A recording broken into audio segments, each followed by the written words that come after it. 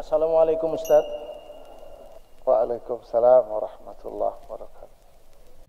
Makanya Rasulullah sallallahu alaihi wasallam mengajarkan kepada kita beberapa doa kesabaran. Saya ingin agak lebih pelan ditulis doa-doanya pakai bahasa Latin dulu nggak apa-apa.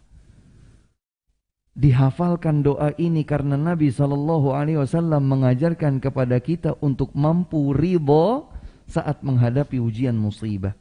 Dalam hadis yang diriwayatkan oleh An-Nasai dengan sanad yang sahih di antara doa yang diajarkan oleh Nabi sallallahu alaihi wasallam as'aluka ridha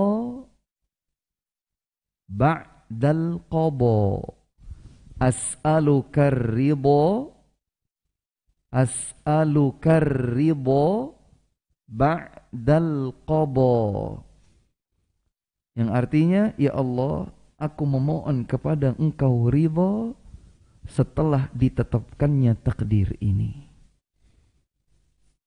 Jadi memang diminta kepada Allah ridha itu. Untuk tidak sekedar sabar tapi betul-betul menerima apa yang Allah subhanahu wa ta'ala tetapkan baginya. Ada doa yang lain yang diriwayatkan oleh At-Tabarani dengan sanad yang hasan Nabi Shallallahu Alaihi Wasallam mengajarkan kita sebuah doa. Saya akan bacakan lebih pelan. Allahumma inni as'aluka inni as'aluka nafsan mutmainnah saya ulangi dulu.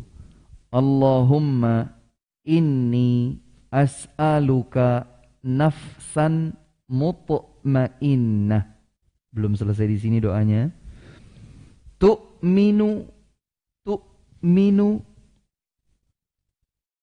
biliqaika. Tu'minu biliqaika watarbo. Watarbo. Biqabaika biqabaika watarbo. Biqabaika saya ulangi lagi dari awal dulu. Allahumma inni as'aluka nafsan mutmainnah tu'minu biliqaika wa tarbo biqabaika. Bagian terakhir wa taqna'u pakai ain wa taqna'u bi'ataika. Wa taqna'u bi'ataika. Bi'ataika. Wa taqna'u bi'ataika. Saya ulangi. Allahumma inni as'aluka nafsan mutmainnah tu'minu biliqaika wa tarda biqadaika wa taqna'u bi'ataika. Artinya, ya Allah, aku memohon kepada Engkau jiwa yang tenang, damai, Ya Allah, aku memohon kepada Engkau jiwa yang tenang, damai, beriman dengan perjumpaanmu nanti di akhirat. Beriman dengan perjumpaanmu. Satu. Dua. Ridho terhadap ketetapan takdirmu. Ridho terhadap ketetapan takdirmu.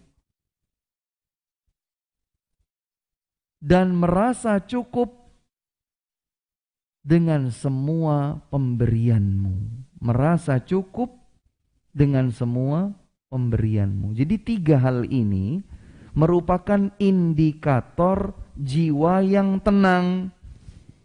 Jiwa yang tenang itu adalah yang beriman bahwa suatu saat nanti akan berjumpa dengan Allah. Pasti perjumpaan dengan Allah itu pasti Dia beriman, maka sedikit-sedikit dia pikir ini kalau nanti berjumpa dengan Allah, Allah akan ridho pada saya atau tidak. Allah akan cinta saya atau benci saya.